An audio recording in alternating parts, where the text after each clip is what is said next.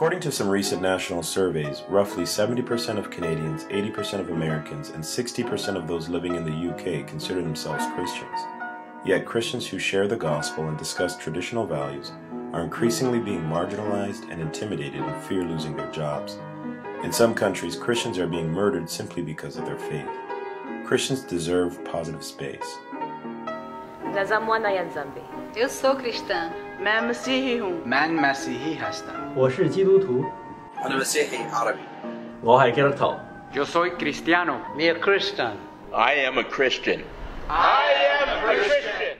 Please go to ChristianPositiveSpace.com to learn how you can create Christian positive space in your community.